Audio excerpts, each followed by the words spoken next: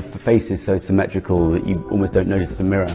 But also, uh, it's alluding really to the fact that she's a performer and uh, playing with her own identity. And um, we are at a point in time when uh, we are making uh, we're creating, we're consuming, we're distorting and sharing images of ourselves. We see many images of faces, uh, but we no longer take them in the straightforward way we might have done once upon a time.